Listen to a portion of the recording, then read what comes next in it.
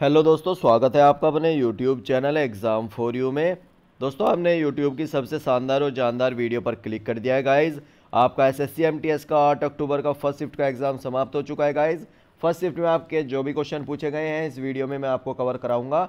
जैसा आपने सोचा था गाइज़ काफ़ी ईजी पेपर आपका आ चुका है। बच्चों ने जो अभी तक हमारे पास क्वेश्चन सेंड किए हैं इस वीडियो में मैं आपको कवर कराने जा रहा हूँ तो आप वीडियो के साथ एंड तक बने रहें।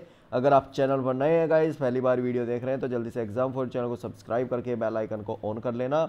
जो भी अपडेट होगी, हर एक एग्ज़ाम का शिफ्ट वाइज एनालिसिस आप यहाँ पर देख सकते हैं एग्ज़ाम फॉर यू चैनल पर। ऑल गवर्नमेंट एग्ज़ाम की प्रिपरेशन भी आप एग्ज़ाम फॉर यू चैनल पर कर सकते हैं गाइज़ तो देख लेते हैं आपके फ़र्स्ट शिफ्ट में क्या क्या क्वेश्चन पूछे गए हैं। एक क्वेश्चन था पेनिसिलियम क्या है? पेनिसिलियम होता है गाइज़ फफूंद, यानी कवक। एलपीजी का full form liquified petroleum gas है। पूना पैक्ट डॉक्टर अंबेडकर और किसके बीच में हुआ था? महात्मा गांधी जी के बीच में हुआ था। महावीर का जन्म कहाँ हुआ था? वैशाली के कुंडलपुर, जिसे कुंडल ग्राम भी बोलते हैं। अगला क्वेश्चन देख लेते हैं गाइज़ जिला न्यायाधीश किसके अंदर कार्य करता है? ये हाई कोर्ट के अंदर कार्य करता है। डेसिबल किसकी मापानी का है या ध्वनि की है? एफरेडा किस जाति से संबंधित है? जिम्नोस्पर्म से संबंधित है। प्रकाश वर्ष किसका मात्रक है? दूरी का। गाइज़ काफ़ी इजी इजी क्वेश्चन आपके पूछे गए हैं। फ़र्स्ट शिफ्ट में आठ अक्टूबर की। वीडियो को एंड तक ज़रूर देखते हुए चलना। जिसका भी नेक्स्ट शिफ्ट में एग्ज़ाम होना है, क्योंकि यहाँ से दो से तीन क्वेश्चन आपके रिपीट होते हैं। नेक्स्ट आप प्राकृतिक गैस का सर्वाधिक उत्पादक देश कौन सा है? संयुक्त राज्य अमेरिका है। चार मीनार कहाँ पर है गाइस यह आपका हैदराबाद में। दांडी मार्च की शुरुआत कब हुई थी? 12 मार्च 1930 में। भारत में पहली बार इंटरनेट कब शुरू हुआ था? 15 अगस्त उन्नीस में। कंप्यूटर के पिता किसे बोला जाता है? बोला जाता है चार्ल्स बेबेज को। नेक्स्ट क्वेश्चन देख लेते हैं। नीति निर्देशक तत्व किस भाग में है? भाग चार में आपका राइट आंसर था गाइज़ भारत ने अपना पहला परमाणु परीक्षण कब किया था? अठारह मई उन्नीस सौ चौहत्तर में। नेक्स्ट था, जिला सत्र न्यायालय किसके अधीन आता है? सर्वोच्च न्यायालय के अधीन आता है जिला सत्र न्यायालय। दिलवाड़ा मंदिर किस राज्य में राजस्थान में है। राजस्थान आपका राइट आंसर था। नेक्स्ट था गाइज़ सबसे ज़्यादा टेस्ट क्रिकेट खेलने वाले खिलाड़ी कौन बने हैं? सचिन तेंदुलकर बने हैं। आपका राइट आंसर था ऑप्शन में दे रखा था। एक क्वेश्चन आया था, तेलंगाना उच्च न्यायालय के मुख्य न्यायाधीश कौन है? हिमा कोहली है, तेलंगाना उच्च न्यायालय की मुख्य न्यायाधीश। एक क्वेश्चन आया था, कोसी का सिद्धांत किसने दिया था? स्लाइड एंड एंड शिवान ने दिया था। आपका राइट आंसर था, गाइस। मेरे प्यारे दोस्तों, अगर आपके लिए वीडियो हेल्पफुल हो रही है तो फटाफट से सभी लाइक करते हुए चलेंगे। अपने चैनल को, एग्ज़ाम फोरी चैनल को सब्सक्राइब करते हुए चलेंगे और बेल आइकन को ऑन करते हुए चलेंगे। क्योंकि यहाँ से जो भी अपडेट होगी, हर एक एग्ज़ाम का शिफ्ट वाइज एनालिसिस भी आप यहाँ पर देख सकते हैं।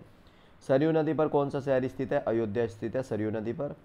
नेक्स्ट था 2011 की जनगणना के अनुसार किस राज्य की साक्षरता दर सबसे अधिक है? केरल की है। सबसे कम है बिहार की। तिरसठ पॉइंट आठ दो और केरल की है तिरानवे पॉइंट नौ एक। नेक्स्ट था विटामिन सी का रासायनिक नाम क्या है गाइज़ एस्कोर्बिक एसिड है, यानी एस्कोर्बिक अम्ल। 2021 में ग्रामीण विकास मंत्री कौन है? नरेंद्र सिंह तोमर हैं। यमुना नदी के किनारे कौन सा शहर स्थित है? दिल्ली स्थित है। यमुना नदी के किनारे आपका राइट आंसर था।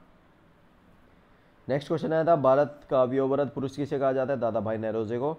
भारत का नेपोलियन समुद्रगुप्त को ग्लोबल हंगर इंडेक्स में भारत की रैंकिंग क्या रही है? 2020 में चौरानवे नंबर पर रहा है इंडिया। नेक्स्ट था चंपारण सत्याग्रह आंदोलन, कब हुआ था? 19 अप्रैल 1917 में। जलियावाला बाग हत्याकांड, तेरह अप्रैल उन्नीस सौ उन्नीस में। और चोरी चोरा कांड हुआ था चार फरवरी उन्नीस सौ बाईस में।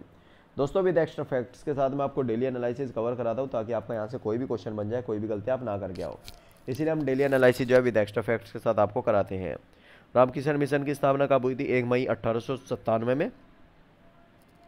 नेक्स्ट था भारतीय संविधान में नीति निर्देशक तत्व तो किस देश से लिया गया आयरलैंड से लिया गया है। मौलिक अधिकार अमेरिका से और संशोधन की प्रक्रिया दक्षिण अफ्रीका से ली गई है।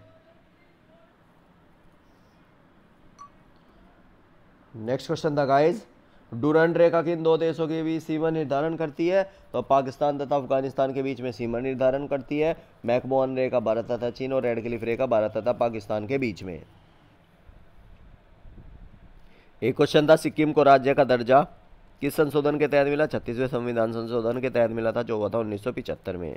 नेक्स्ट था, भारत छोड़ो आंदोलन कब शुरू हुआ था? उन्नीस सौ बयालीस में। पानीपत का प्रथम युद्ध किसके बीच में होता बाबर और इब्राहिम लोधी के बीच में होता कब? 1526 ईस्वी में। नेक्स्ट अल्पसंख्यक समुदाय किस अनुच्छेद से संबंधित होता है? ये अनुच्छेद 20 से संबंधित होता है। अल्पसंख्यक समुदाय, आपका राइट आंसर था अनुच्छेद 20 मिशन इंद्रधनुष योजना किससे संबंधित है? स्वास्थ्य टीकाकरण से संबंधित है। गाइज़ आपका राइट आंसर था। एक क्वेश्चन था वर्ल्ड वाइल्ड लाइफ डे यानी विश्व वन्य जीव दिवस कब मनाया जाता है? ये मनाया जाता है आपका तीन मार्च को। इंपोर्टेंट डे वाले क्वेश्चन आपके पूछे गए हैं। तो आप अच्छे से पढ़कर ज़रूर जाएँ।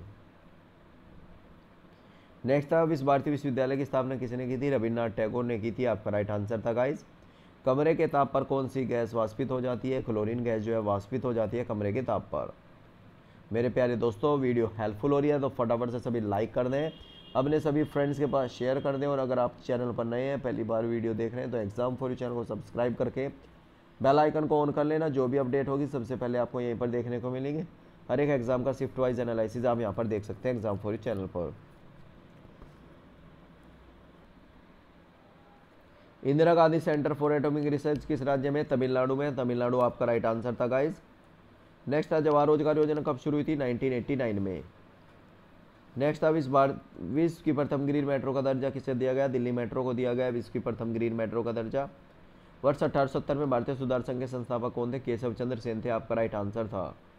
नेक्स्ट अंग्रेज़ों ने भारत में अंग्रेज़ी को शिक्षा का माध्यम कब बनाया था? अठारह सौ पैंतीस ईस्वी में बनाया था, आपका राइट आंसर था। नेक्स्ट था न्यूटन फ़िल्म में किसी ने मुख्य भूमिका निभाई थी? राजकुमार राव ने मुख्य भूमिका निभाई थी न्यूटन फ़िल्म में।